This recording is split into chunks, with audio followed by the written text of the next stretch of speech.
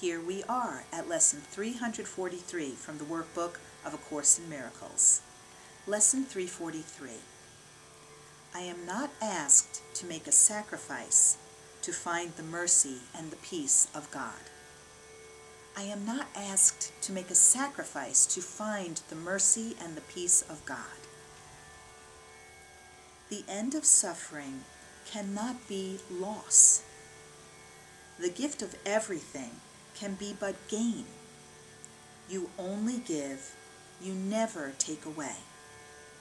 And you created me to be like you, so sacrifice becomes impossible for me as well as you. I too must give. And so all things are given unto me forever and forever. As I was created, I must remain. Your son can make no sacrifice, for he must be complete, having the function of completing you. I am complete because I am your son. I cannot lose, for I can only give, and everything is mine eternally. The mercy and the peace of God are free.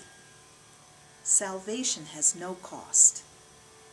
It is a gift that must be freely given and received. And it is this that we would learn today. Lesson 343. I am not asked to make a sacrifice to find the mercy and the peace of God. If you'd like to read my commentary on the workbook, go to amytorresasom.com and read Amy's blog. Namaste.